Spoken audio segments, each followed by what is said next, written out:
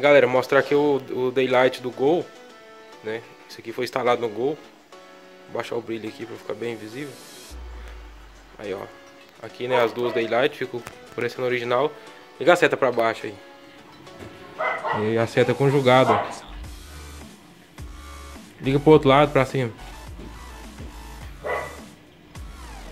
Aí. Pode desligar. Aí. Aí, ó. Baixar o brilho aqui pra vocês verem, ó. Fica bem original, né? Acabamento original. Aí, tá aí. Valeu.